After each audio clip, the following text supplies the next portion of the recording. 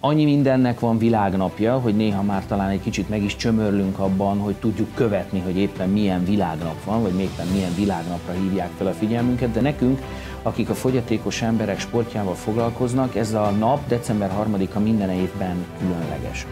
Ebben a, ezen a napon, minden esztendőben ezen a napon meg tudjuk ünnepelni egy kicsit azokat, akik sportolnak fogyatékos emberként, és főleg azokat, akik a fogyatékos emberek sportjával a háttérben foglalkoznak. Edzőket, sportvezetőket, klubvezetőket, pedagógusokat, iskolai vezetőket, akik számára fontos, hogy a sport az mindenkié legyen, olyan embereké is, olyan diákoké és felnőttöké is, akikről egyébként nem feltétlenül gondoljuk, hogy a sport az övék legyen, hiszen egy fogyatékos emberről alapvetően nem feltétlenül gondoljuk ezt még mindig.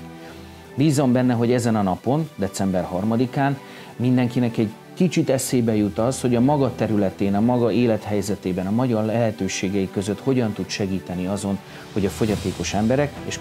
különösen a fogyatékos diákok számára, akik több mint 80 ezeren vannak a magyar köznevelésben, hogyan lehet a sport az önkifejezés eszköze. Szóval mindannyiunknak sikeresebb, vagy boldogabb, vagy sporttal telibb 2022-t kívánunk így az év végén, és azt, hogy december 3-án a fogyatékos emberek világnapján egy kicsit többet, az átlagosnál is többet gondoljunk a fogyatékos sportra és a fogyatékos emberekre.